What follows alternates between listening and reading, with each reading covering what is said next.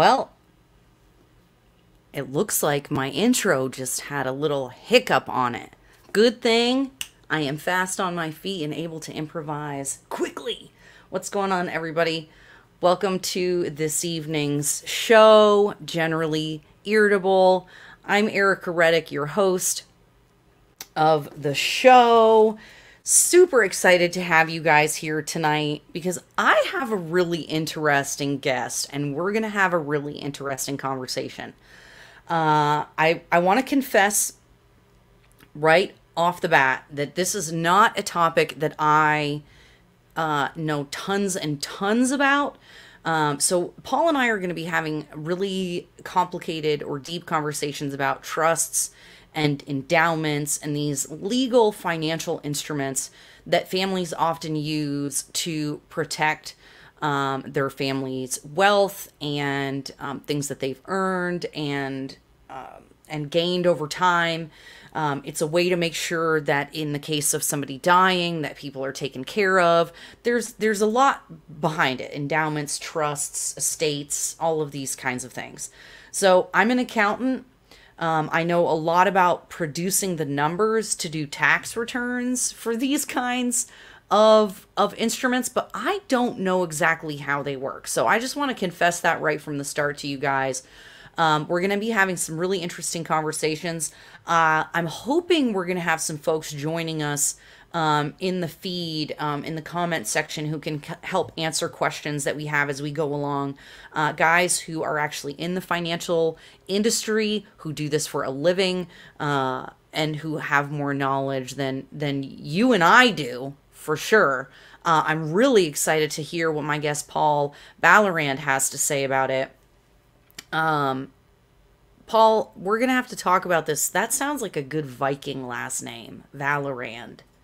It should be a Viking last name if it's not. But um, so we're going to be talking about his. He has this idea that and that we can fund the government using things using financial instruments like endowments and trusts, just like large universities uh, do to run their facilities and run their their colleges and universities. So um, I, I'm I'm not gonna. Paul's gonna be able to give us the numbers probably better than me, but you know, Harvard could probably last forever ad infinitum without another dime of tuition if they just operated their uh, funds and endowments to pay for those and fund those kinds of things. So, can we fund the government that way?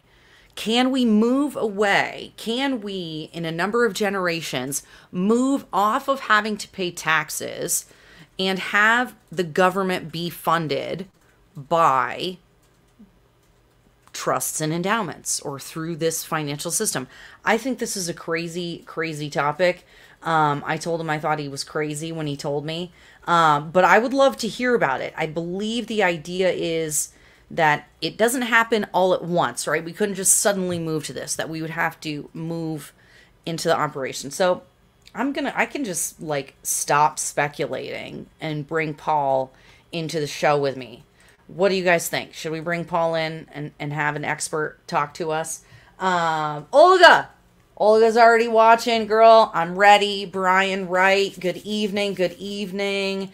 How are y'all? Let's you know what, let's just bring Paul in. Let's just bring Paul in. Paul, what's going on back there?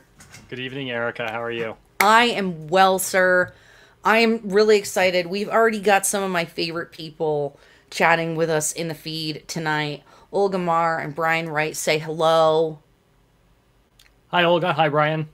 Hello, hello. They're gonna, uh, Olga, my girl, the, uh, libertarian Latina. Well, what is your, wait, is that what it's called? The libertarian Latina, right? That's what your page is called?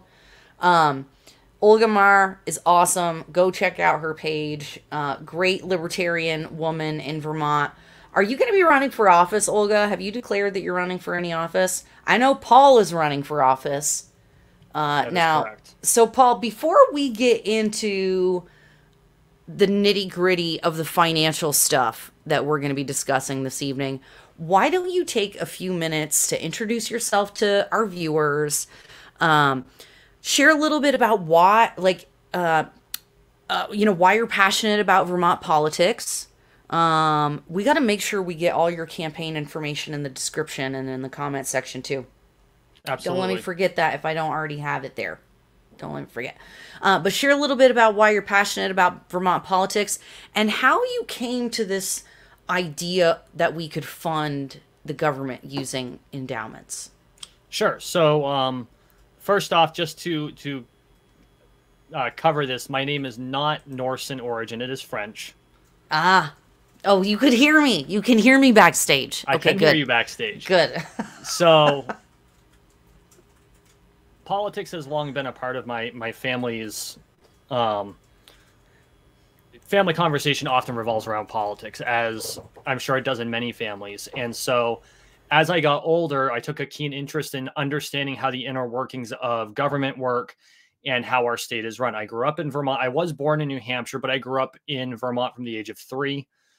And as I came to be of voting age, I took an interest in getting involved in politics. Now, at the age of 19 or 20, you don't have the experience to be able to bring anything useful to Montpelier, but I kept it in the back of my mind. And so, as time went on and we experienced the crash of 2008, and I'm sure that many of us all recall that with some uh, sadness. Yep.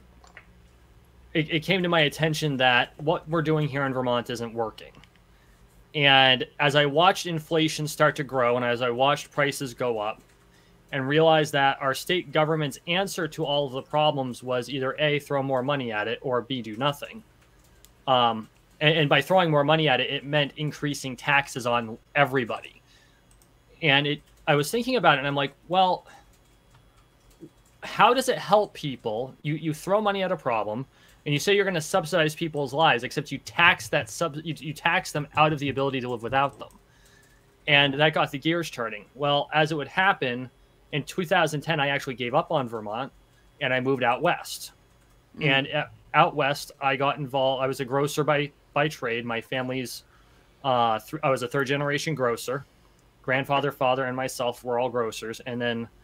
Uh, I got involved in the finance industry after a particularly long shift at the store I was running and um, I ended up getting picked up by one of the major banks, and I learned finance from the ground up, like literally from the absolute baseline all the way up until I was investment licensed, and I was working regularly with people who had any anywhere from people who had not a dime to their name to I think the person I think the wealthiest person I worked with had seventy three million dollars in assets, mostly cash at that point because he sold his business. Mm. Um, and so because I wanted to to progress, I took everything people didn't want to deal with. People in banking, a lot of your retail bankers don't like dealing with trusts. They don't like dealing with estates. They don't like dealing with complex transactions because they take forever and it prevents them from getting the things that make them their bonuses. I decided to, to climb into that and really focus on it. And so I got exposed to a lot of new and interesting things like trusts. And so after doing a lot of research, I so noticed that trusts are another name for a trust can be an endowment, and that's how the colleges like Harvard, the Ivy League schools, um, fund a lot of their their grants, their research, things of that nature. But the amount of money they've accumulated over their extensive existence is very large in the billions of dollars. Uh, you can fact check me on that, but I believe Harvard has a multi-billion dollar endowment. Excuse me. And so why the as the as the thought came came up and I was setting up life insurance for myself for the first time and uh, I have a special needs child so I need to make sure that the the insurance money would last him through adult into adulthood at the very least. Um, I was like, well, why can't we use something very similar to fund government agencies? The the trust instrument itself is not complicated when it comes right down to it.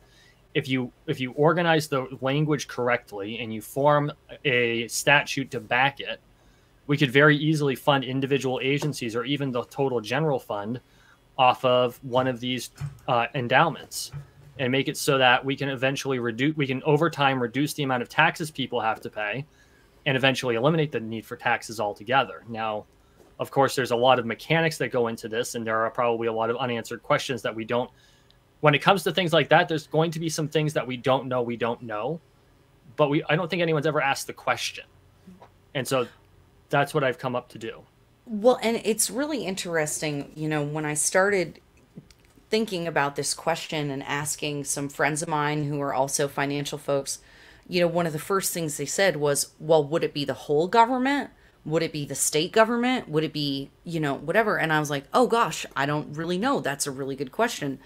And and so you already answered one of my questions, which is how what would be the structure of of something? Like what do you imagine as the starting point? And I think what you said was starting with individual agencies.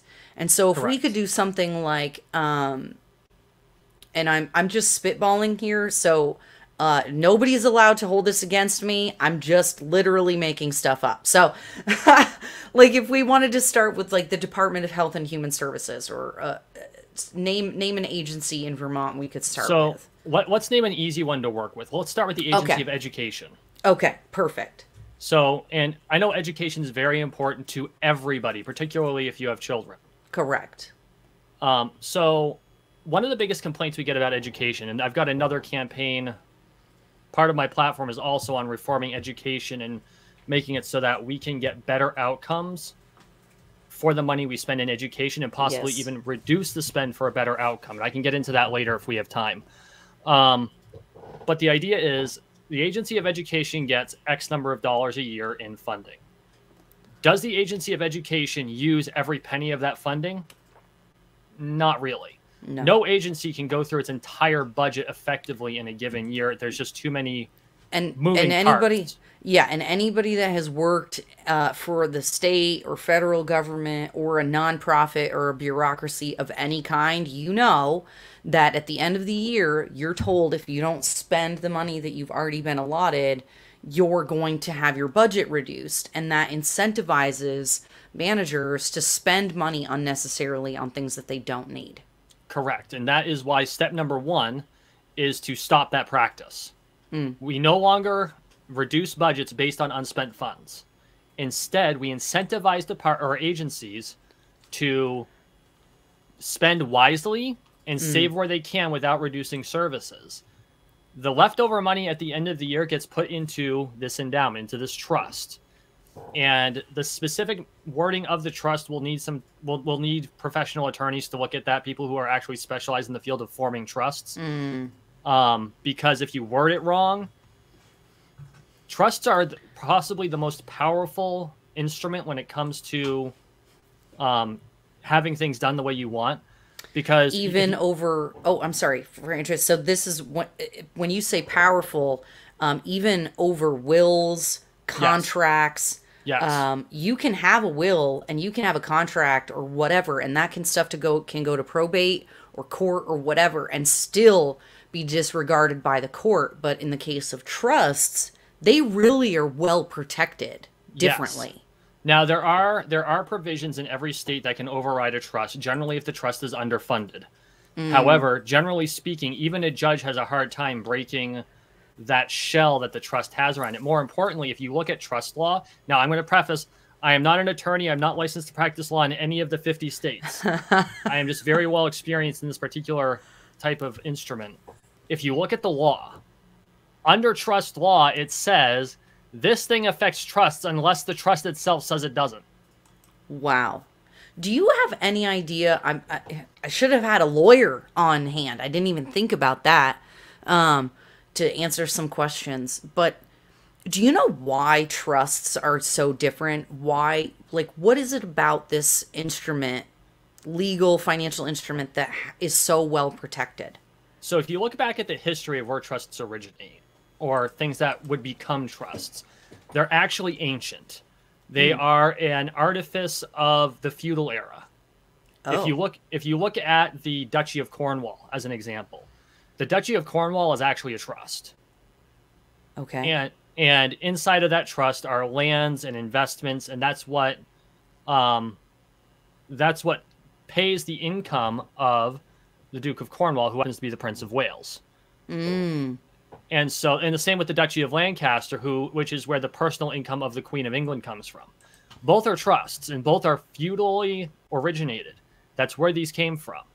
And as we separated from Great Britain, which had moved out of the feudal era for the most part by the time we became a thing, um, we utilized that artifact in order to create an, an indenture that would allow us to protect assets in the same way that the old feudal lords and ladies would. And it Hmm. still works today. And the reason that it stays the way it is is because it ain't broke, so we ain't gonna fix it. Hmm. Um, a similar artifice from from those times would be the landlord tenant relationship that I'm sure many of us have. Mm, yep. We definitely do not have protections as landlords, though. Uh, no. We don't have those protect. Not at least not in Burlington. But I digress. I could go off on a tangent over here. Um, So go ahead though. No, no, no. Go ahead. I you were you were about to say something, and I unintentionally interrupted. Oh, well, I was just gonna say. Uh, Brian said, um, I believe the federal agency responsibility should re- be returned back to the states. And as Vermont is five trillion in debt, these responsibilities should be handled by local citizens and communities. And Brian, you, I, you know, it's so funny to me, and I don't know if you experience this when you're out talking to people about this, Paul, but if you're a politician and you say stuff like, oh, abolish the Fed or we should get rid of the Federal Department of Education, people are like, oh my God, you're a heretic. How dare you? You're a terrible person. Oh, you hate the children. You want them to die. You know, they say wild stuff, right?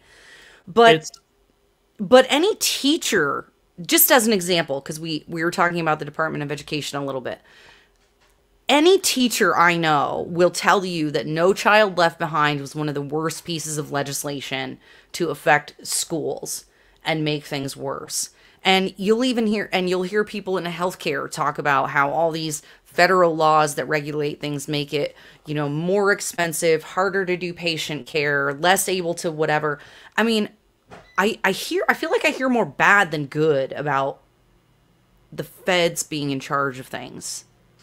And you would be correct because when it comes to the federal government, the federal government has this nasty habit of being a hammer and assuming everything's a nail. Mm-hmm. And on top of that, they think that things that work in New York City are going to work in Barre, Vermont. Yes. both things are incorrect. And so that's where being able to fund government by endowment, breaking it down. And when I said agency of education, I meant the Vermont Agency of Education, not the U.S. Department of Education. True. True. The U.S. Department of Education needs to disappear. That we can go away. Well, and then we can use an endowment to fund the Vermont Department of Education. Correct. And then we don't need to be dependent on the federal government, which invariably comes with strings attached. Absolutely. And so there's a there's a lot of pieces that go into that. And on top of funding individual agencies within the state, each locality, each municipality should be able to fund itself in a similar manner using the same techniques. So if if Barre Town or if Burlington or if um, Essex form an endowment so that their excess tax dollars from property taxes or sales taxes go into it, because I know a lot of these jurisdictions have option tax, then the excess funds can go into that endowment to start to perpetuate the funding of the town or the municipality without having to raise property taxes, which is even more important now because the housing market is completely bonkers. And I believe that's a technical term I have used with customers. That's a legal term. Not illegal. It's a technical term. It's a technical term. So, full disclosure, I work in insurance right now, including homeowners, and that is a term I have used. I say the market's bonkers, and we don't know how much it's going to cost. yeah. Um, Yeah. and so, So how big if you I don't know if you can give us a scale, but um like how big would an endowment have to be to fund one of these departments of education or whatever? Have you done the math on any of that? Like what would be required to fund uh any of these departments or things? I have not done the raw math on it, but if we can find the budget for one of these agencies, I can tell you. Yeah. I I would love that. Let's see. Let's see. Um okay. Like really? Like right now we could do that? Yeah, let's do it live right here. Okay, okay. Budget for Vermont Department. Uh, looks like we only have back to 2019. Well, hey, that's something. Here, let me. I'll share my screen.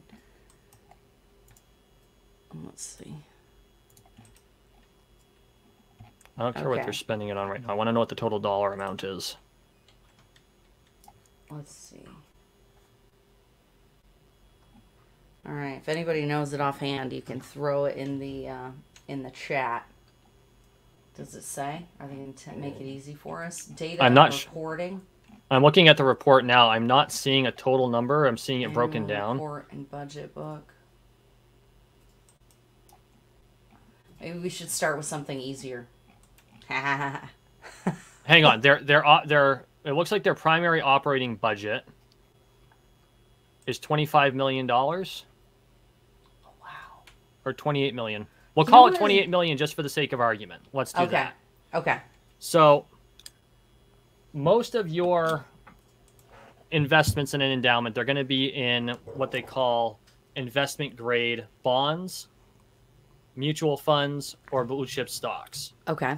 Um, now, I need to again stipulate I am not currently a financial advisor. I have been licensed as a financial advi- as an investment advisor representative before.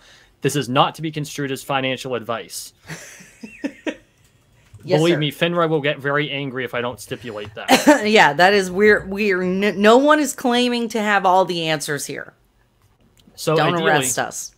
So let's let's say for the sake of argument that the budget has to be twenty five million dollars. Okay. A well managed portfolio, and I'm going to put it this in there of non voting securities and bonds Okay. because we don't want to that's allow the- safe. right. We don't want to allow the government a vote on how businesses are run. That is a really yes, correct. And just Um, in case, does in ca- just to make sure everybody understands that if you're not a financial advisor person like we are, explain to folks what you mean by voting and non-voting. Okay, so there are two primary classifications of stocks. A stock is an ownership, uh, we, we call them equities. It is an ownership stake in a company by share. A share is uh, a share can be or a company can be broken into any number of shares, and you can own any number of these shares, which gives you a certain amount of power within that company. Now, preferred stock operates off of a particular what they call a par value, a fixed value, and you earn a, uh dividend, which is money from the company for when they are profitable, based on a percentage of what that par value is. Almost universally, the par value is hundred dollars, and the the percentage that is the uh, dividend is often between four and six percent. So, for the sake of argument, we'll call it five. Okay, hold on. You're getting way too much into the weeds. Let's make Sorry. it really simple. Nobody cares Okay. about. Well, actually, you know what? Hold on. I was going to interrupt you because I was like, this is boring. Who cares about dividends? But now I'm realizing, wait, this is actually really important Yes, this is relevant. because because that we need it to earn interest and dividends and while that matters. Correct. Right? Okay, so this is all an important part of the conversation. Okay, keep going. Yes. So I'm going to apologize in advance to those of you who Yeah. who look at the numbers and you just kind of glass over your eyes because I know most people do. I did when I started out, but Yeah, I'm a try and to- find this interesting. Yeah, like let's um, everybody take a deep breath. Okay, we're gonna nerd out with Paul here for a minute. I'll try to barrel through it as clearly and as quickly as possible. Okay. okay, go. So the the here's the thing about preferred stock: they are non-voting. No matter Hmm. how much preferred stock you have, they get zero vote in what the company does or who sits on the board of directors. Okay. The other form of stock is the stock most of us probably have in our 401ks or other retirements and possibly in our portfolios, and that's common stock. Common stock gets dividends based on what the company releases per per share. It can be anywhere between zero and several dollars. On average, you'll find that it's like a dollar a quarter or something like that per share for a lot of your stocks. But you get to vote on who sits on that board of mm-hmm. directors, and you get to vote on who runs the company. And if you get enough of your friends together and you're all shareholders and you can outvote Yep. the other shareholders, you can control the board. Yep. And we don't want government having that power because there there are actual other terms for governments with that kind of power. that you're not allowed to say on social media.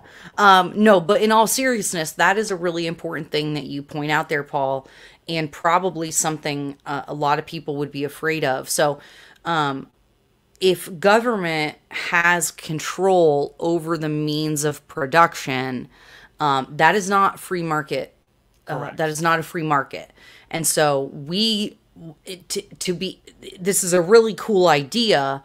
We just don't want the government to be able to uh, pick winners and losers like like the bankers do, right? So we've seen this. I think um, really this year. I don't know if you can speak to this at all, Paul, but Benjamin, was it? Oh my God! You know what? The last couple years are all just blending together now.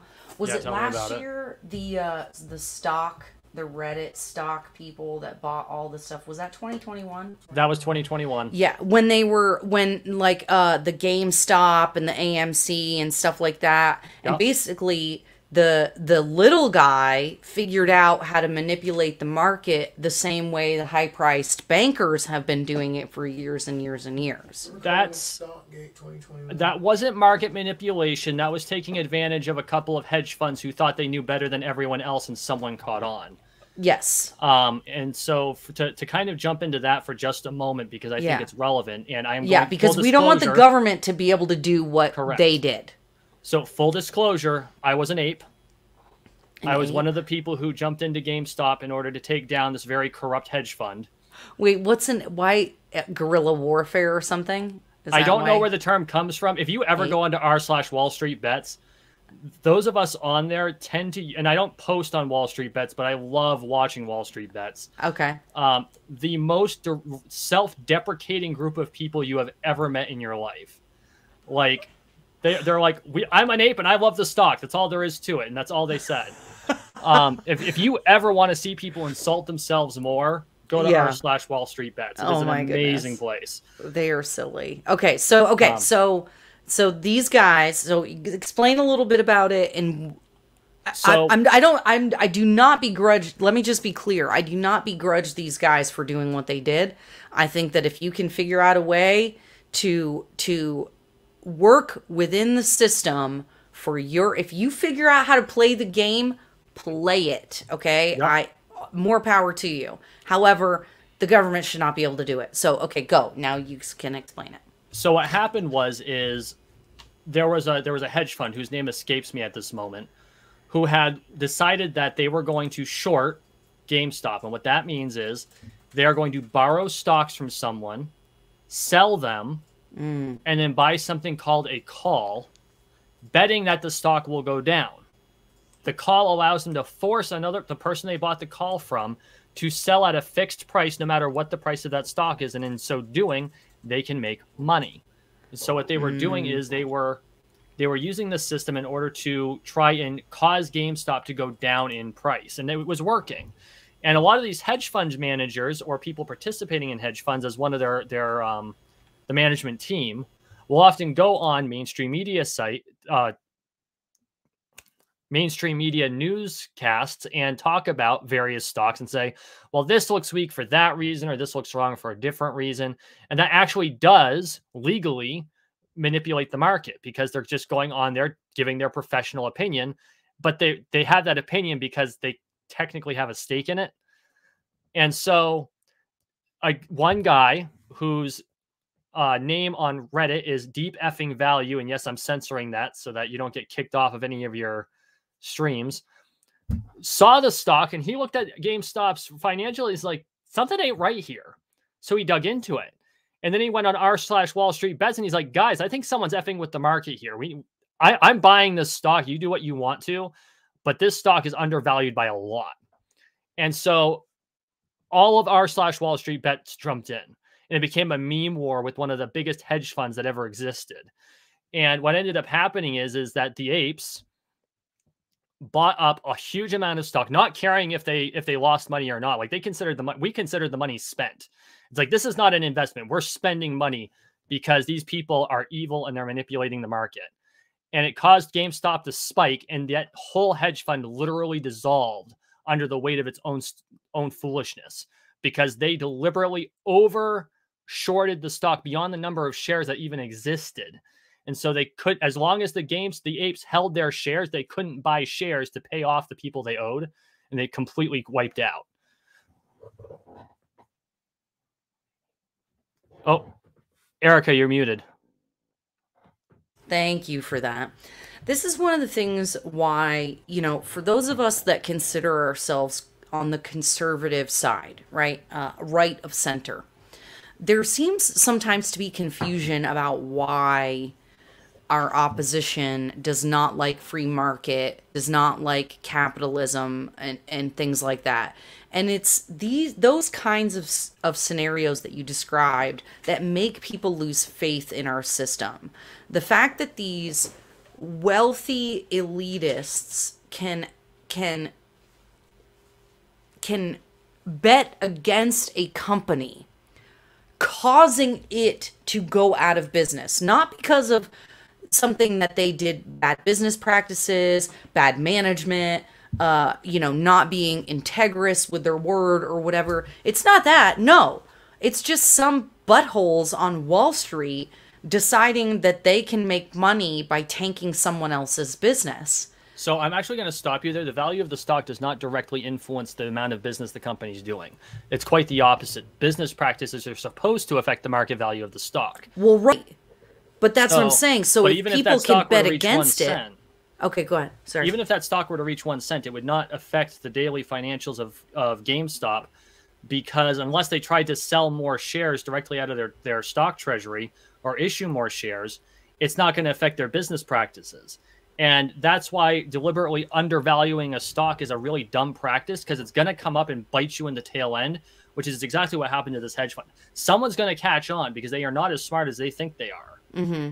And what this was was a was a a lesson to some of these hedge fund managers that you need to be honest because someone's going to catch on and there are enough angry people especially after a pandemic where we've been locked in our homes for 2 years that are going to look at things and go I just got a whole bunch of money from the government that's going to get inflated out of control because they're handing us money for no reason. So screw it, YOLO, and that's literally what they said. And I hate the term YOLO. Like I'm a Carpe Diem guy. I prefer the classics, but that's what they were doing. No, I just got a twelve hundred dollar stimmy, YOLO. And I mean, you know how many people I know either did stuff like bought stocks like that or guns? yeah, guilty. Like, yeah, yeah. Most people that I know were not. Anyway, that's that is a side note. Okay, let's get back to the topic at hand. yeah, sorry. so the point is the point is that there are weird instruments and legal ways that other people who have way more knowledge than you and I can manipulate the stock market.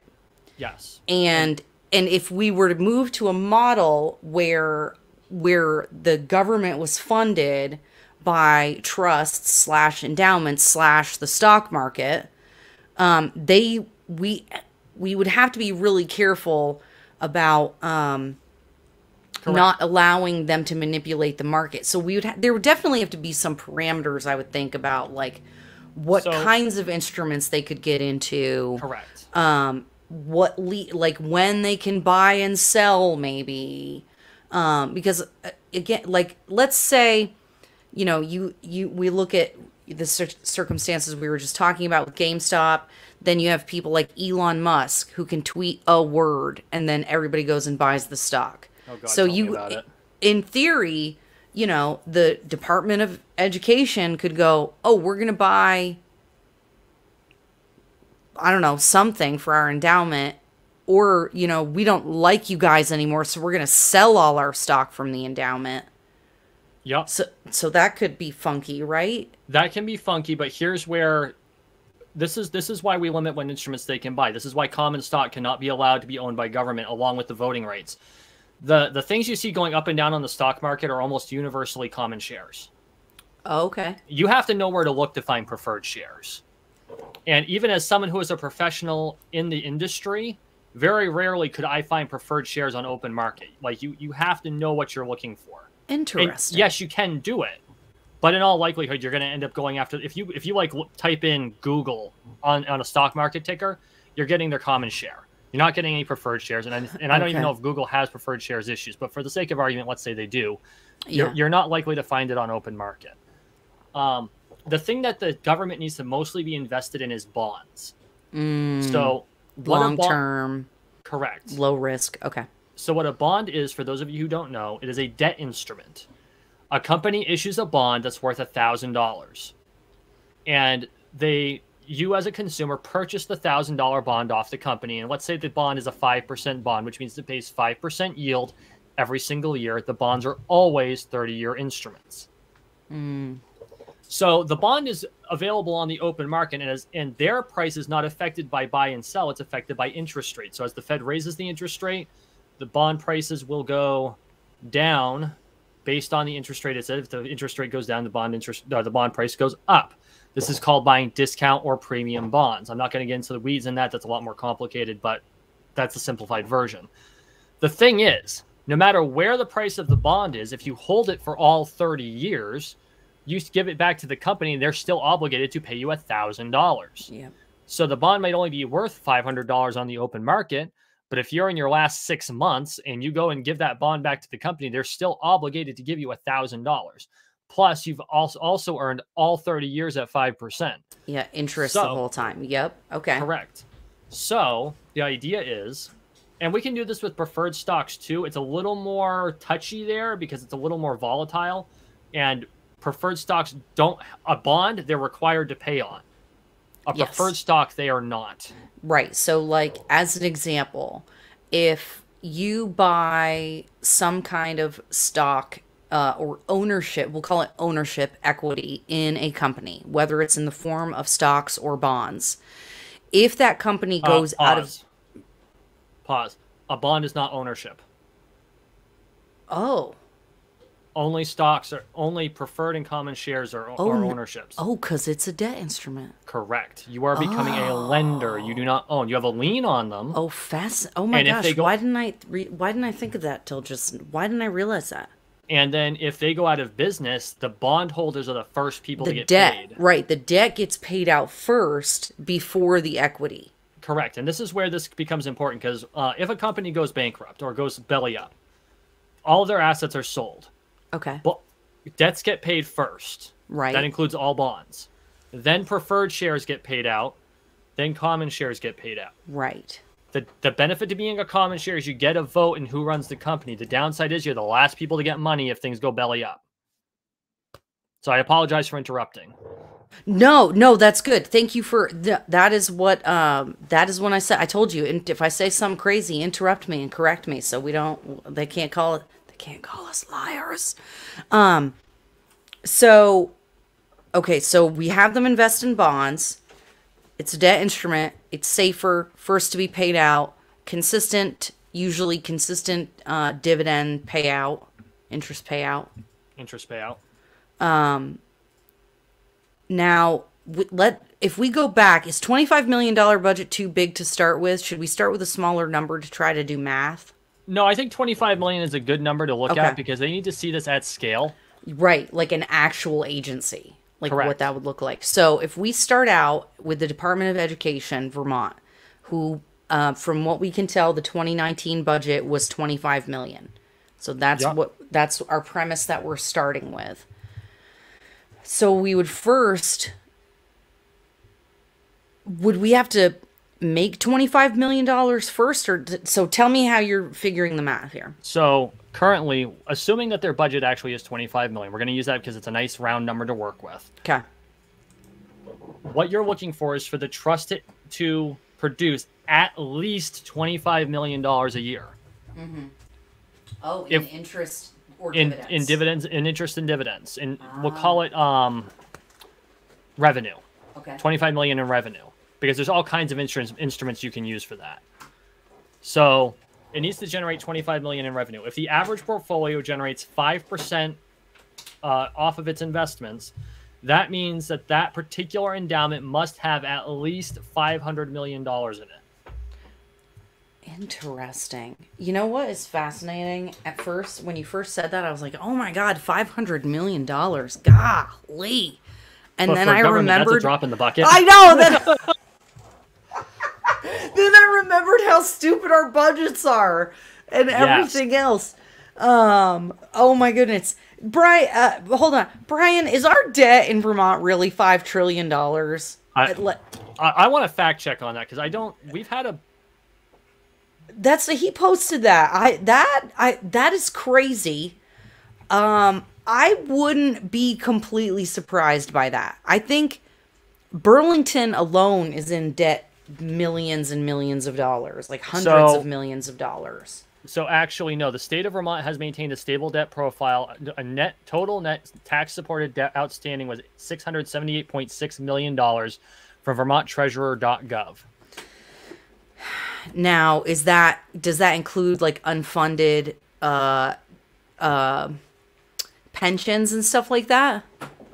Uh, I couldn't tell you offhand. I just I, I Google searched it and I found it on their website. That would take some digging, Oh, but I'll drop it in our um our stream chat so you can drop it on Facebook. Okay, cool. Yeah, and that's what Brian said. He thought it's what the debt clock says.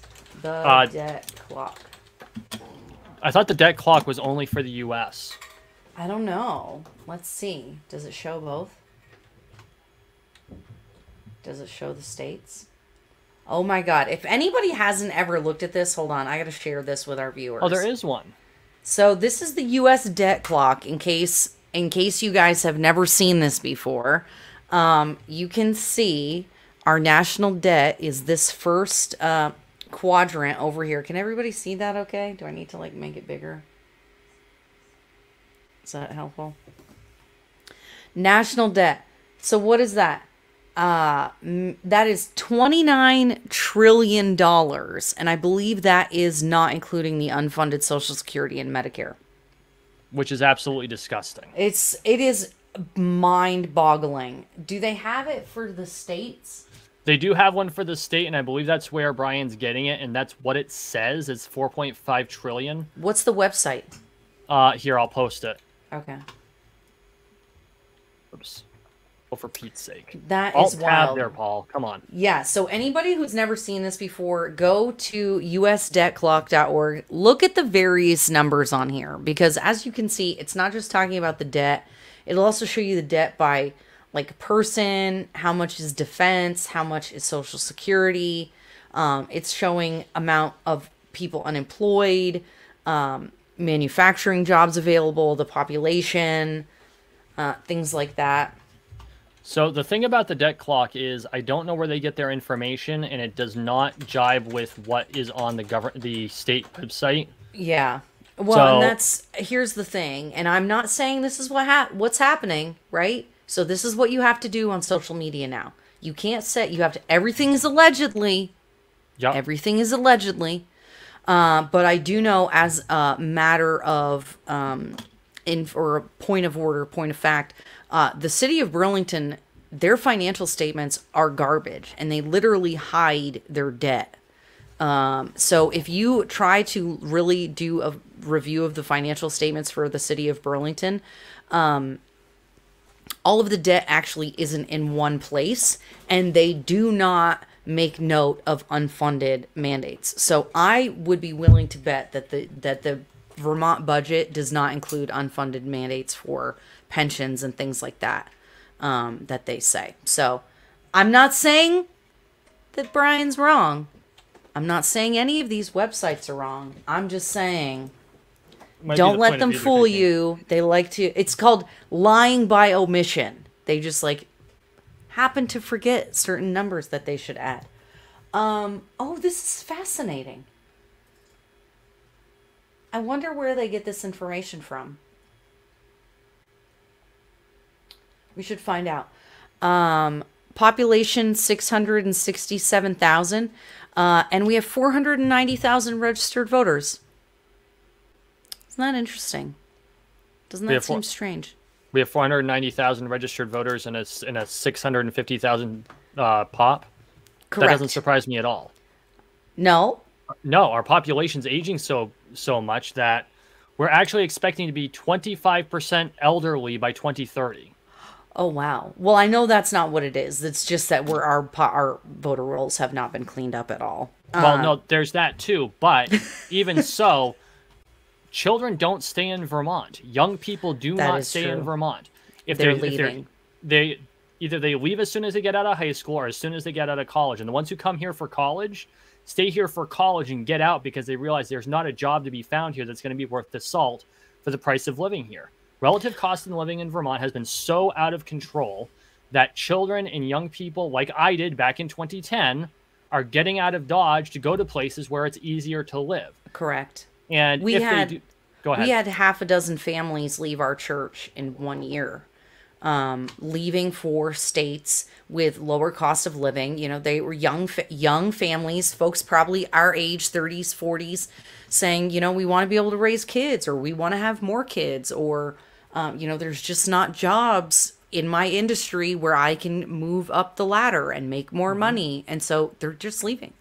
That's right. And the reason is because the way we have organized our, our state culture and our state's regulations make it hard for businesses to thrive and grow. The expectation that a business is going to be able to, th- to, to grow from the ground up in Vermont is it, it's a joke, to be frank with you. Yeah. Uh, and I work for a small business. I work for a small agency. I work for a small business owner, and even pre pre pandemic, it wasn't it wasn't great. And Yeah. during the pandemic, it became a real struggle at times. Well, and, And- this is oh, sorry, go ahead. No, and um, and if you're not selling something that is quite literally recession proof, like insurance, if you're selling a good or a service that is optional by any stretch of the imagination, or might be replaced by a substitute good from Walmart, for those of you who don't know what a substitute good is, it's it's buying something that's cheaper, even at lower quality than you could buy for more a higher price from a higher quality producer, like an artisan because you can't afford the higher quality product. Now, of course, that's kind of a catch 22 because the higher quality product is going to last three times as long as the discount product. But when you need something yesterday, no one cares. Nobody cares. Nobody cares. Speaking of nobody cares, I just want to take a moment to thank today's show uh to show today's show's sponsor. It's our book, Reasons to Trust the Government. Benjamin and I are sponsoring our show. Yay! Okay. Everybody, hold I- on. We're going to take Go ahead. I've got it. Is it blank? Everyone should read the preview. That's all I'll say. hold on, hold on. Let me share my screen. Uh yes it is. I'm just going to give it away. It is totally blank uh because there are no reasons to trust the government. That is what we believe. Um, in all seriousness, it's it's interesting to have these conversations that we're having today, Paul, where we're talking about, you know, how do we fund a government that we recognize in some ways as being necessary, right? I think there are some things that we can all agree, uh, unless you're an anarcho-capitalist, even my really staunch libertarian friends will admit that there are services that may be better provided by a uh, collective, such as the government. But we know that they get too big. They get too big for their britches, they get too much power. And when the government gets so big that it overtakes the the power of the individual, then it's gone too far. And so, you know, we just see so many circumstances in history where uh, whatever it was that was bad that happened was the government. It was either sanctioned by the government or, um, well, it was sanctioned by the government. It was law, whether it was Jim Crow, slavery, um, whether it was, uh, you know, the, the things that went on in Europe earlier this century or earlier last century. Um, that was government taking control, picking winners and losers, deciding who's good and who's bad, who's worthy of living or dying, who's worthy of having a job or not. And so and so we just, you know, when we were we were joking around and we were reflecting and I said, you know, especially you know, I just said, you know, I said, I, I literally do not understand why anyone at this point trusts the government when you look back at history. Anyone And who reads history shouldn't trust the government. precisely. And so, and so we just said, you know what, we're, you know, I said, we're going to make a, we're going to make a book. It's going to be a joke. It's going to be called Reasons to Trust the Government. And it's going to be blank. So, uh, in all seriousness though, folks, you can look at the preview. It shows you like the acknowledgments and stuff. Um, those are the only pages that have words on them. I can send you the link. Send yeah, send put the link in the put the link in the description. So um it's awesome. It's beautiful. We had a good friend, a friend help with the uh, the image design. Uh, it's beautiful. Really, what it is meant to do is to be put on your coffee table or on your bookshelf or somewhere where somebody particularly um, that you want to open up the conversation with, is going to see it. They're going to pick it up and they're going to say, What do you mean there's no reasons to trust the government? It's a great joke book um, for white elephant parties, for birthdays. Um, it makes a great notebook. That's what we use it for. We carry it around and use it uh, to take notes and journal um, and just share that. You know, we believe that people need to be self governing and take Have the responsibility. What's that? I'm gonna put the commercial link in the thing. I thought you said it wasn't ready yet. it might be. uh, It's a, it's a rough draft. It's good enough. Okay, well, I'll well we can play it at the end of the show. All right. Are you gonna Are you gonna load it somewhere that I It's on can play it YouTube now. from? Where is it on YouTube? I'll listen to you. Send me the link. Okay, we made a commercial. It's absolutely ridiculous. We'll play it at the end of the show. Okay. Okay. All right, so enough of the pitch. But in all seriousness, if you guys like my show, if you like the show, if you like the content that we provide, it's a great way to support the channel. You can go to amazon.com, reasons to trust the government. It's $9.99. Um, and it's a fun way to troll your family. One of our friends put it on the coffee table or on the end table in the in their spare bedroom when their in-laws came to visit, and he said that they are very very liberal, and uh, so it's a fun way to um, to to start some conversation. So and support the channel. All right, so enough of that. Let's see. Okay. You can wait. Is that you? Is that the link for the book or the commercial? Commercial. It's on the website. The book link is on the chat. Okay. The link for the commercial I sent to you. Oh, in Facebook. Okay. All right. So, uh, yeah. So you can go to ericareddick.com for a link to the book. Okay. Back to funding the government with trusts and endowments. What What are some questions that I haven't asked you yet that I should have? The question is one of the questions is how long will this take? Oh, good question. Yes. So here's the thing, and this is something that tends to cause politicians to be short-sighted and causes people to.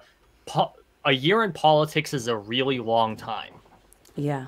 Here's the problem with any plan that actually works: it takes longer than an election cycle. People don't like hearing that.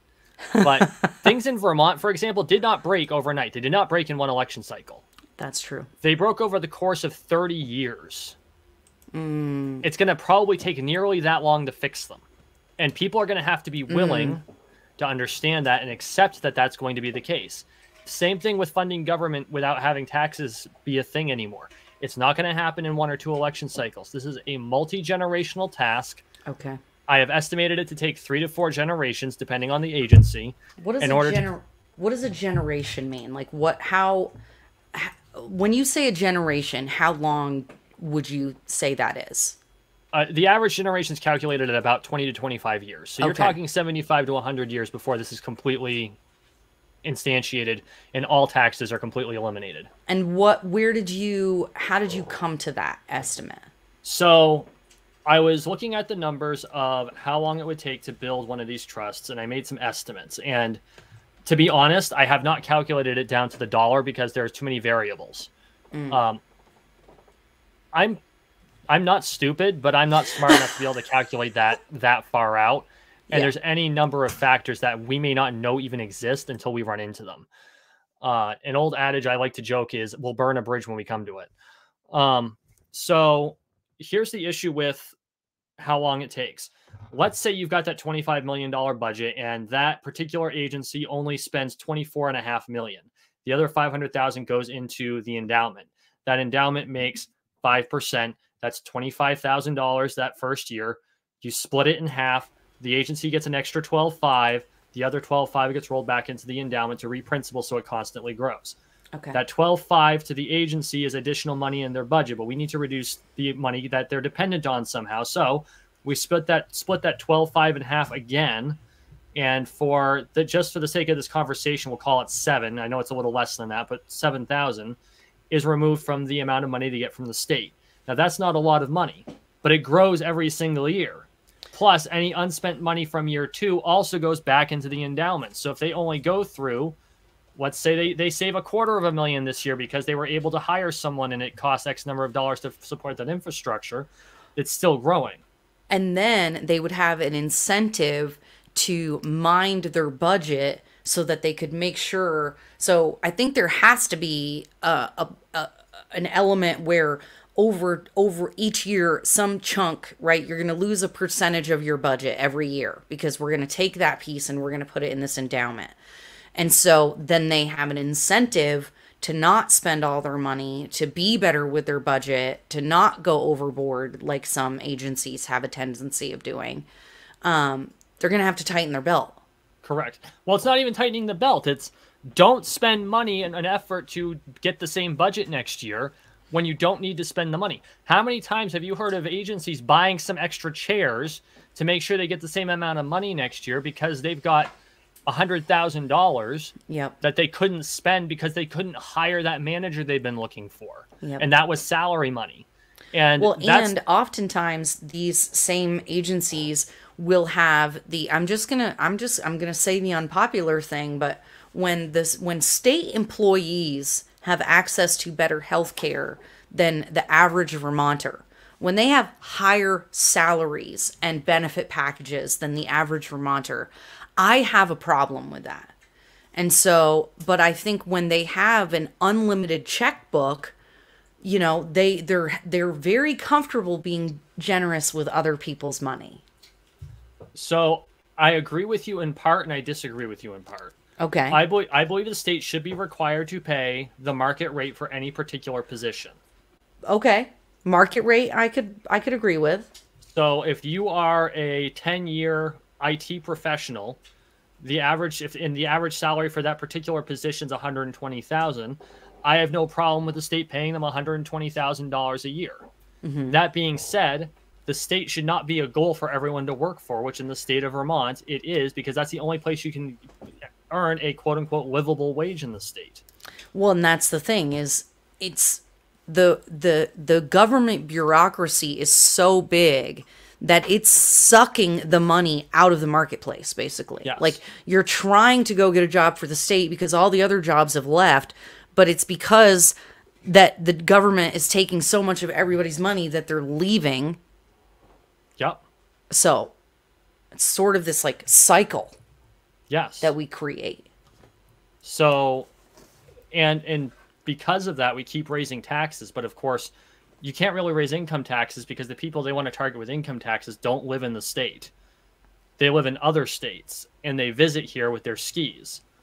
So, this is why trying to increase taxes on the rich in Vermont doesn't work because we don't have a whole lot of rich here. Well, And, and, most of them are in government. it, f- uh, and I think uh, a few weeks ago I had on Julie Marks from the Vermont Short Term Rental Association, and she said Vermont has the highest uh, number of vacation homes per capita in the country. Yep. So more of our land is owned by not Vermonters than any other state in the union, That is correct.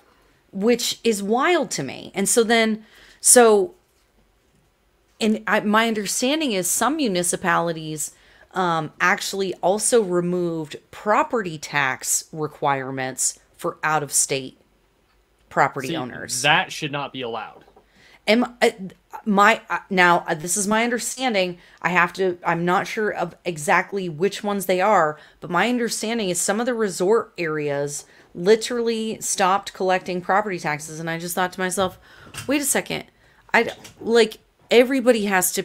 If if that's not fair, then that property could be owned by a Vermonter who would pay property taxes, and then we would have enough money for things. Like, what are you talking about? Now, I I don't know if that's actually the case. I had not heard that before. Yeah. But if that's the case, those municipalities need to realize that what they're doing is they're pushing Vermonters out of their municipality. And if that's their goal, if they're trying to push them into like little apartments so that they can use that, have that land be purchased by rich out of staters, they need to be voted out of office yesterday. Uh, I'm just saying. Um, there are a lot of weird rules and laws that are very confusing to me as far as property rights in the state of Vermont and what you can and cannot do.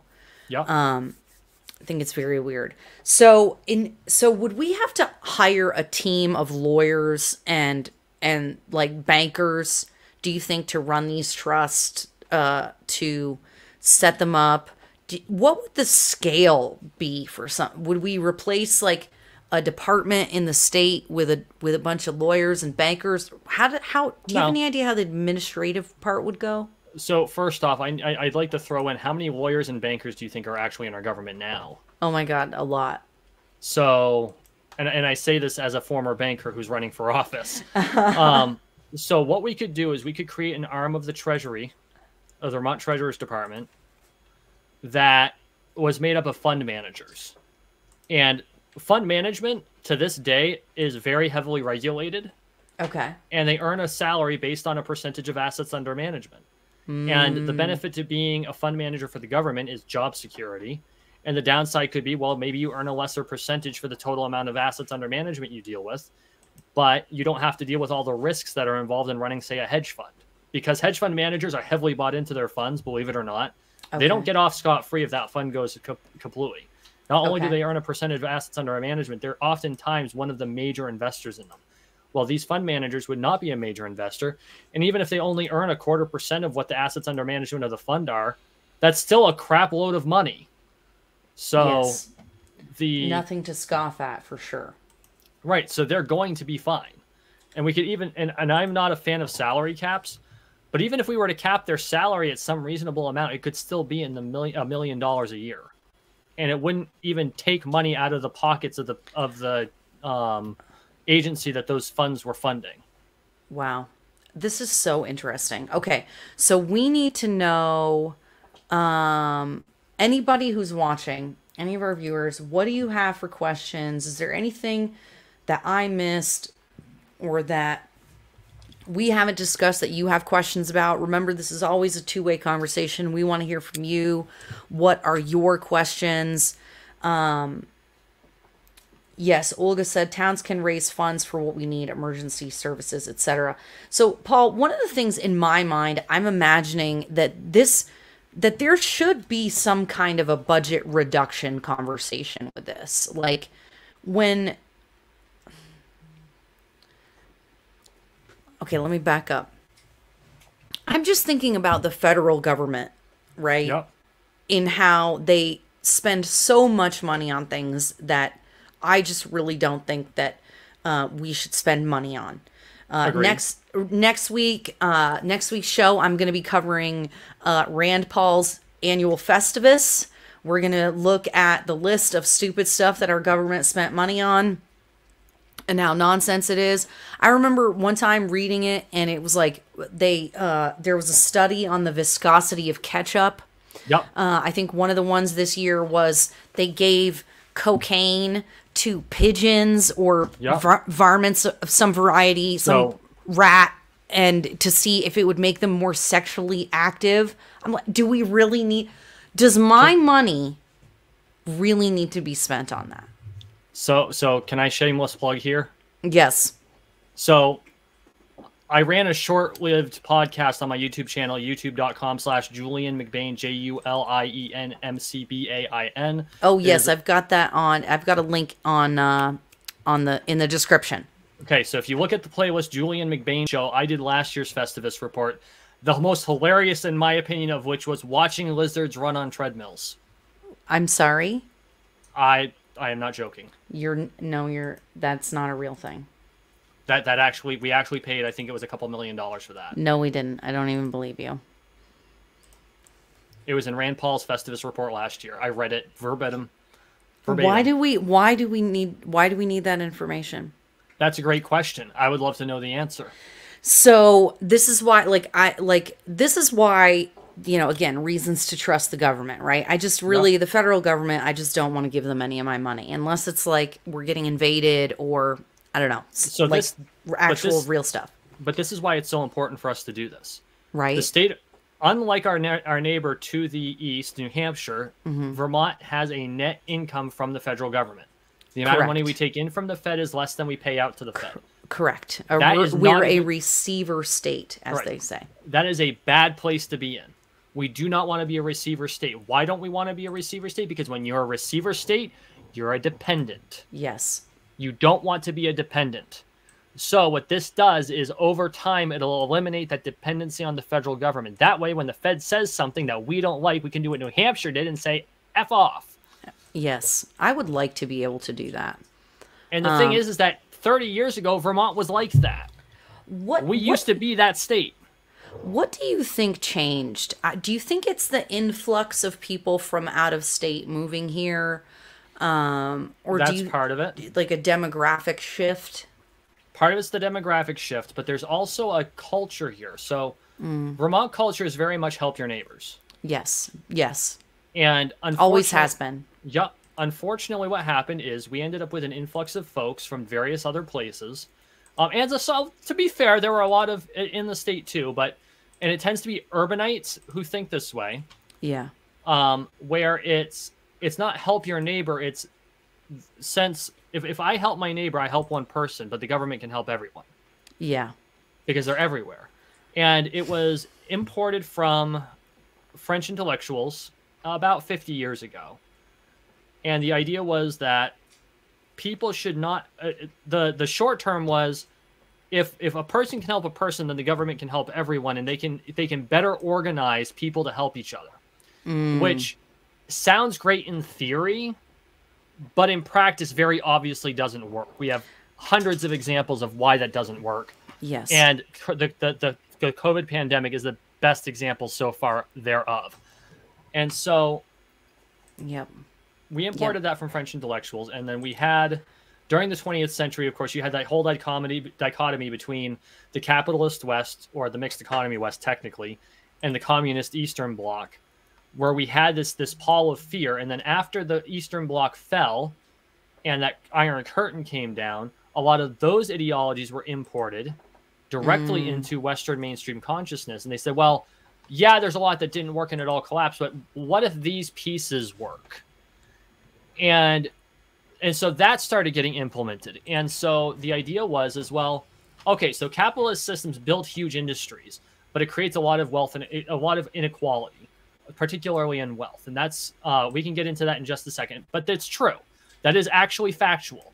And that's that follows a natural law that I'm going to get into here in just a second okay, but the the idea was well if we utilize the arm of government we can even the playing field for those who end up on the bottom of the heap now there is some wisdom in this although i think government is the absolute worst agency to be able to fix it but the the fact of the matter is is that you're going to have that everywhere because it follows a natural law now i'm not sure i'm sure that a lot of people have heard this term kicked around there's something that a, that a quirky italian economist came up with called the pareto principle and the Pareto principle is is the concept that a small percentage of people will wind up with the largest bulk of any one particular skill, ability, or in our in this case, money. And this is true across all industries and all skill sets. So if you look at, for, as an example, the number of classical composers whose music is prevalent, and you'll actually find that when it comes to classical music, including neoclassical, modern, uh, you know, classical music composed in the modern day, there are only four composers who make up the bulk of all classical music listened to. They're Tchaikovsky, Bach, Mozart, and uh, uh, I always miss the last one, and I'm always embarrassed for it. Bach, Mozart, Tchaikovsky, Mozart, Bach. Oh my God. Beethoven. Yep, How could I forget Beethoven? because you're a silly goose.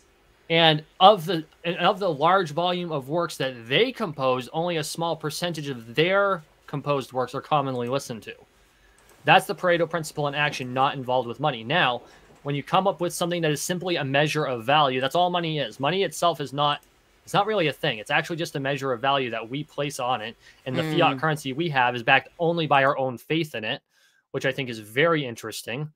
Um, and so when that happens, you're going to have people who accumulate a large volume of it at the top and a lot of people that have very little of it at the bottom. And it, it follows that same natural law. and this is why you can't trust the government. Um, in all seriousness, though, um, okay. So, what else? Anything else we want to make sure to cover while we're on the stream today in talking about this? Where, so this was an idea you had. Is there anywhere we can go to do a little bit more research, to look at this, to consider it, to figure out what that would look like? So, I haven't published my findings anywhere. I really should. It's it's something that's been on my my list of things to do, which unfortunately I've not gotten around to, and that's shame on me. Yes. Um, well, you can self-publish on Amazon very easily. as I have discovered. um, but honestly, it just comes down to the math. Yeah. All, all you have to do is you have you can come up with any arbitrary figure. Mm-hmm. Assume any form of interest rate. Five percent is the average across all portfolios. Last I checked, and you can Over fact check me on that. Post so pre-COVID, it was around five percent. yeah. Was the was the average return on all portfolios across the board. Um, sometimes they were as high as 12, sometimes they were as low as 1. So if you if you take that number, take any arbitrary number and then you take the revenue for a year that it generates, split it in half, reprinciple half of it so it adds to the the endowment. Take the second one, split it in half again, reduce the budget of, a, of an agency by that amount. It still grows no matter what numbers you use, as long as the numbers are not negative. Because I know there's some wise, smart aleck out there that'll do that, and it will eventually cause it to be self-funding. Okay. The question is, is just how long it'll take. Well, and, And- this is, and we would really have to make sure that, uh, in addition, the government couldn't touch it because, in theory, we're supposed to have these sort of funds for our pensions, Yep. for Social Security, for Medicaid, and they've been mismanaged and underfunded. Correct. And, And- so, and- Yeah, so it can't. Not only can it not be negative, it can't be zero either. correct. And so, what we can do is we can build into the law, and more importantly, into the trust, that the trust principal is sacrosanct. Under no circumstance can the government dip into the prin- dip into the principal of the trust for any reason whatsoever. And we can even put consequences as part of that trust. So if they attempt, I mean, we could go so far as to cause that particular legislator who had the temerity to write the bill to be arrested. I, I don't necessarily want that to happen, but but it could be uh, you lose your position or Right, you we could- something we could make it so politically distasteful that, that no one would nobody would want to do it, which is not the case in, uh, which is not the same case with our with our state pensions or uh, or our Social Security or Medicare. That we there's not that protection from the trust. Correct. That's because our state pensions are based on. So, I'm going to use Social Security as an example. Yeah. Everyone assumes that Social Security is an insurance plan. I'm here to tell you, as an insurance professional licensed by the state of Vermont, it is not an insurance plan. If Yeah. you look at the design of Social Security, it's actually a Ponzi scheme. I mean that literally. The entire design is exactly the same system that Mr. Ponzi used in order to make himself a, a, a boatload of money off of the backs of other people. They designed it the exact same way. The thing is, is when Ponzi did it, it was a crime, and when the government does does it, it's called Social Security. And anyone is welcome to fact check me on that. You can email me at paul4vtsenate at gmail.com with the with the receipts if I'm wrong. I guarantee you, if you look into the mechanics of Social Security, that's exactly what you'll find. I mean, it literally is. It requires um, the people getting paid out. It's coming from other people paying in. They're Yes. not getting what they paid in. You get almost invariably you get more.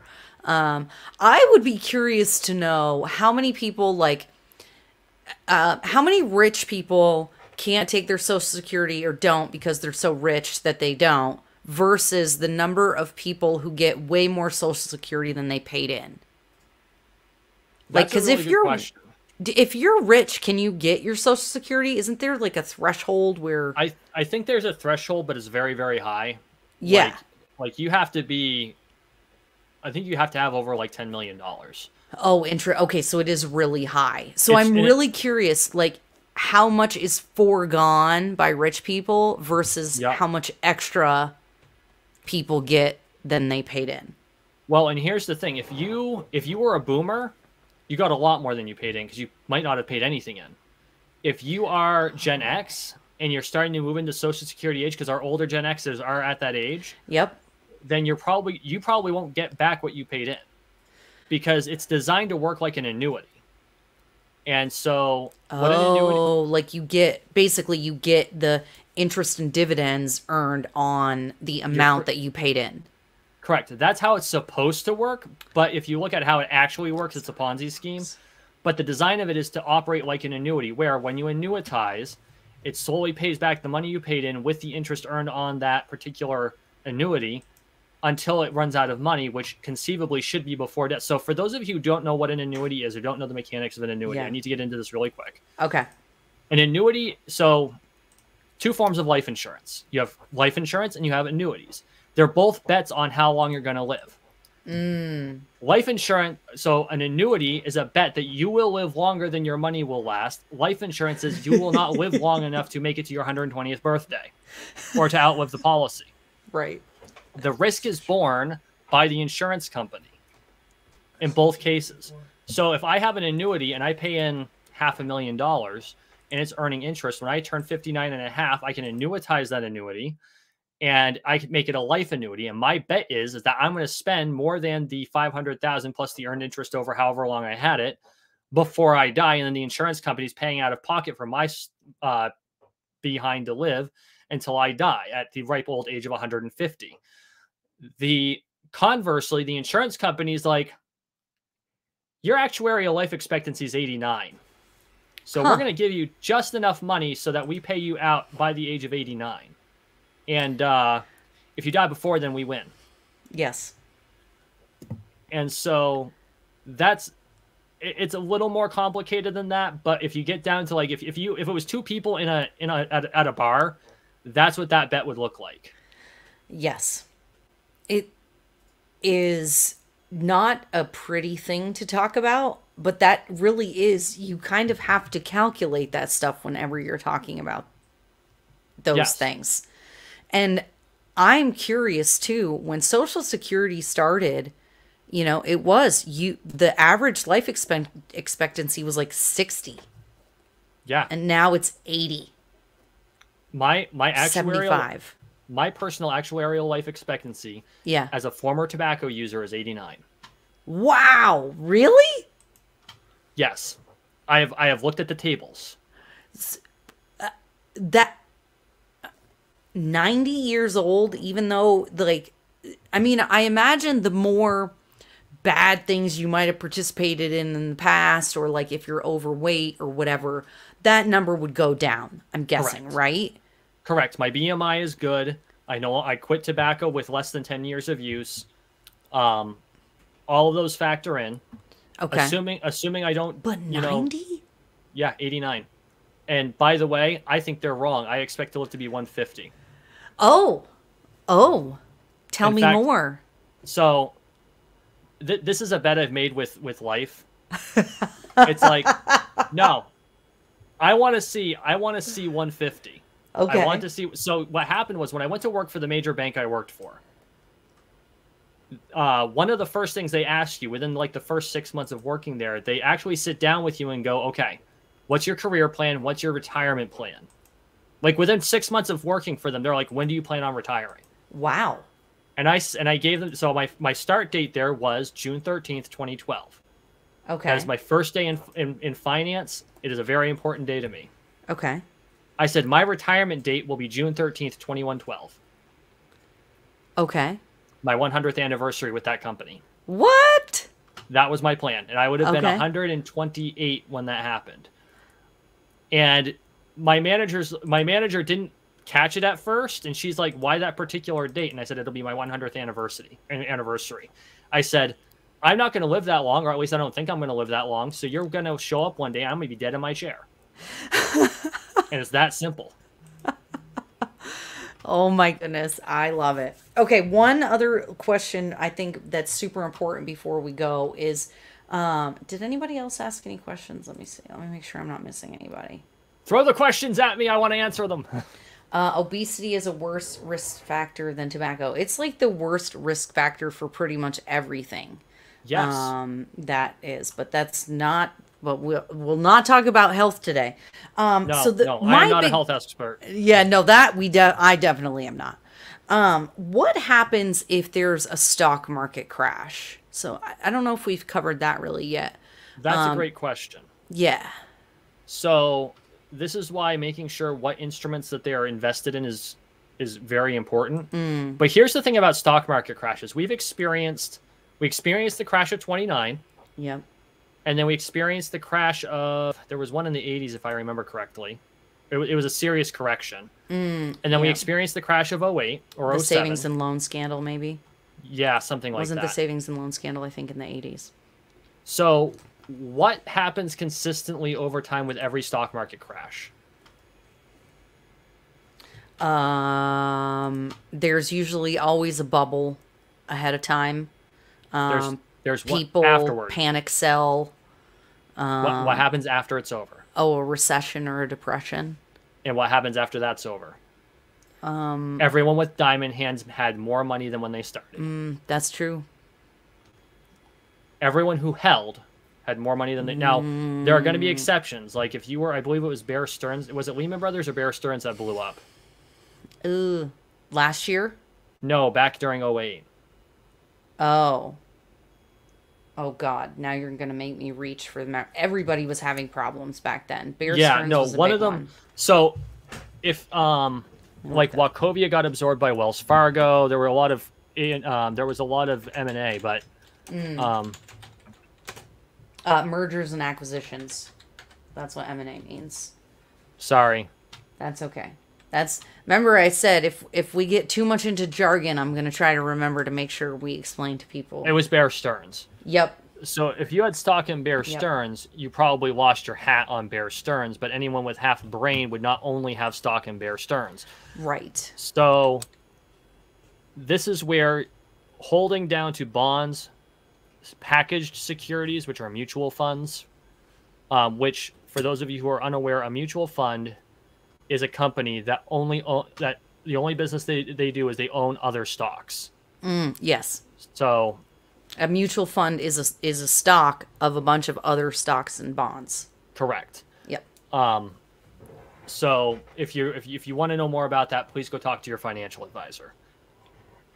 So Yes. Speaking of which, if anybody watching uh, wants to learn more, you've been thinking about getting into the stock market, starting a retirement fund, something like that, send me a private message. I've got a couple of good friends that are licensed either in Vermont or Texas, um, and and multiple states around the country. These two guys are. One's located in Vermont, one's located in Texas. If you guys need anybody. Now, you are not currently, we discussed that earlier. You're not currently doing that, right? I am not currently licensed to, to deal with securities. I was previously licensed to do package securities, so mutual funds, um, variable annuities, things of that nature. I am currently insurance licensed. Yeah.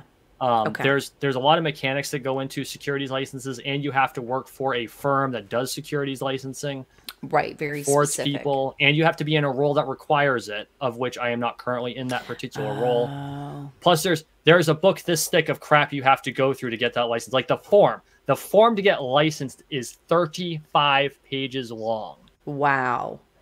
And That's I wish I was amazing. making that up. That is well, I mean, you know, you don't want some chumps to be doing this stuff, so you got to make it a little bit difficult, right? No, absolutely. And if anyone wants to verify whether or not I'm telling the truth, you can go to brokercheck.com or gov. Okay. You can type my name in. You will find my CRD there, and you will see the length of time that I was licensed and with with, with which firms I was licensed with. So Well, I can't blow smoke about this. The information's out there. yeah, this is, this is we can tell the truth. We can find it. Um, so so before we go for the evening, Paul, why don't you take a moment, tell everybody, uh, you know, uh, you're running for Vermont State Senate. Uh, give them give them your details where they can find you, uh, your district, and all of that stuff. So I'm located in Barre Town, which means I'm part of the Washington County District. You can find my Facebook page. I believe, Erica, you linked that in the description, did you not? I believe I did. Um, you can check. email me at paul for the number four vt senate dot or at gmail dot com. And i do reply to emails. I also reply to facebook messages.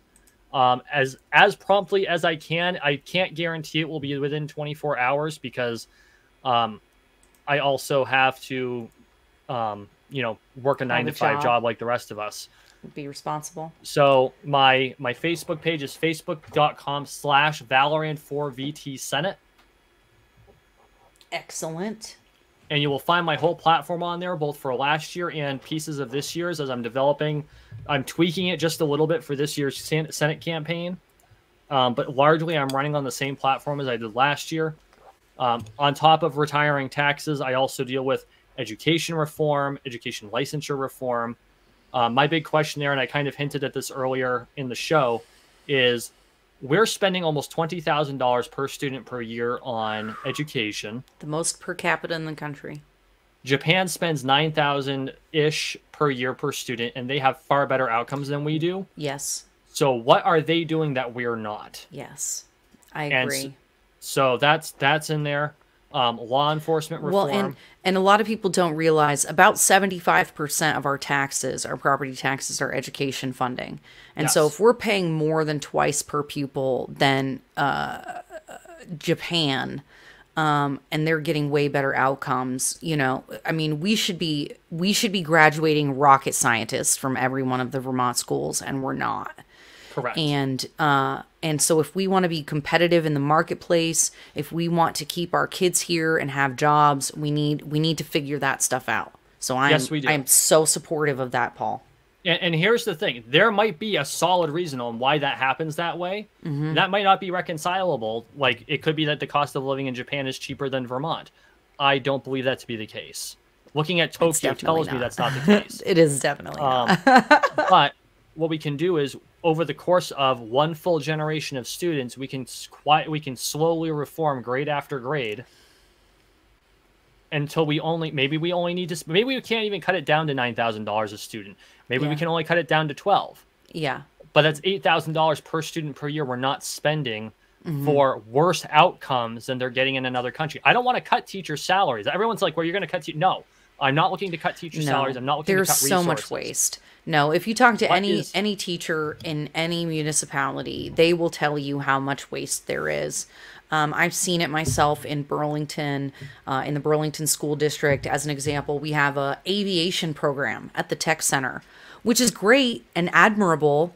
Um, it graduates maybe one student per year and costs over a hundred thousand dollars uh, well over a hundred thousand dollars so while that's a cool thing um, is it reasonable to ask vermonters to pay for that when when we're not we're not making rocket scientists out of that program Right. And, Um, and I do want to I want to throw this out there too. I am not suggesting that we cut special needs programs either. Mm-hmm. Because the last thing we need are students who cannot learn in a traditional educational setting to fall short. That ends up costing us a lot more in the long run than the money we dump into it at the education level. Uh, what I am saying is that for the general ed student who does not need a lot of assistance Yeah. outside of the norm norm, where is all of the waste that is causing us to spend so much per student? Because I mean, we have some special ed schools. So, Erica, I don't know if you know this. We have special ed schools where the cost per student per year is in excess of hundred thousand dollars. Now, part of that is because of what those students' needs are. Some of them have deep psychological traumas. Some of them have um, are requ- need to have one-on-one support with clinicians on a constant basis. These things are necessary to make sure these kids don't fall through the cracks. Am I happy that we have to spend that much on it? No. Would I rather spend the four hundred thousand dollars on them now rather than the one and a half million for them to be institutionalized later? Yes. So I'm not suggesting we cut those programs. well, and they that's be the more thing. efficient, but it's it, it well and that not that we necessarily cut the opportunity for different kinds of education for those kids right? Because a lot of times if you take them out of the traditional public education model and you put them into a charter school or something like that they often do a lot better. They have better outcomes. They have better learning uh, uh, responses and all of that stuff. And so by giving parents the choice to be Yeah. able to put their kids in an environment where they can really thrive rather than doping them up so that they'll sit still uh, in a public school setting, you know, uh, we can cut that in half just by supporting homeschools and things like that where where parents really want to participate in their child's education where they where they know that their kid is not really able to be in a traditional setting but they don't have the support that they need for that alternative for that alternative. Correct. And so- that's so um part of what I'd like to do is I want to loosen the regulation. So homeschooling in Vermont is actually very loosely regulated. Mm. Um I want to make sure that we have protections for like collective homeschooling where you might have a group of parents who are all homeschooling their kids, but they all specialize in something. So, you know, the six kids go to to, to you know, Mrs. Black's uh, house to learn math Yep. and and Mr. Green's house to learn science and and and you know so you know Professor Plum's house in order to learn uh, astronomy. oh, so, so- that your your your your your teachers are from the game clue. I, I I had to come up with random names that would not be actual people. So Okay, But- hold on. Hold on. We're totally going off on a tangent. Talking about your Senate campaign. I'm going to have I to have you come back. No, it's okay. I asked you to talk about your Senate campaign and then I totally encouraged it. We're going to have to have you come back on um when we get into election season and we'll and we'll have some good debates on policy and stuff like that. yes, I would I love, love it. that. I love it. All right, let's take a minute. Paul, stay with me. We are going to end the live stream here in just a minute. Let me make sure I didn't miss any good questions. Hands off homeschool. That's right, Miss Olga. Um, so can I, I can I just throw out here for just a second, Erica? yes, yes, ma'am. Yes, sir. So anyone who wants to ask me questions you didn't think of during the stream again, Yes. please feel free to email me Reach out. paul at uh, paul the number four vt senate at gmail.com that is my official campaign email i do try to have a turnaround on that email that's relatively quick um, i'm not sure olga would necessarily agree with me but um, Okay.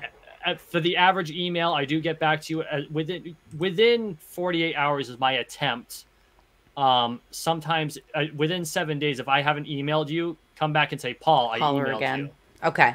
Um, Sounds good. because sometimes life gets away with me but go ahead eric i apologize No, no, that's great. I that's good. Um, so we'll have all that contact information. If it's not in the description, we'll make sure it's in the comments for you guys.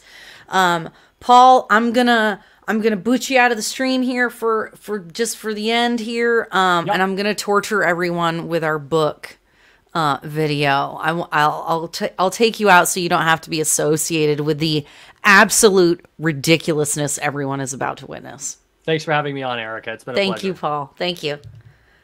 Okay. So this is this is this the rough cut or is this the final cut of the is this a rough cut? This is a rough cut of the commercial we worked on for our ridiculous book. Do you want to come be in the stream with me, baby? No. Do you want to come say hi to all of our our guests and to see our book? Okay. All right, everybody. Here. So this is the uh, international debut of the uh, book commercial "Reasons to Trust the Government" by Lord and Lady Reddick. Okay. This book will give you wings. What kind of wings? Not like Icarus wings, like eagle's wings. What about dragons? You'll have dragon's blood. You'll be able to breathe fire. Fire like the Ultra Eagle Dragogon! This book will make you smarter. Smarter than who? Smarter than everyone else on Earth. Yes! I'm not just talking honor roll smart. I'm talking Nikola Tesla smart. You'll be so good looking, Brad Pitt will be jealous. Do you want to make money? How much money? Elon Musk money. That's a lot of money. People will think you're Elon Musk, but you're not Elon Musk, but they'll think you're Elon Musk, because you pay taxes like Elon Musk. And you have to argue with Elizabeth Warren because she thinks you're Elon Musk. Do you want freedom? How much freedom? All the freedom! Ah, I love freedom. From one to America, how much freedom do you want? America. Du- du- double America! Yeah! Freedom.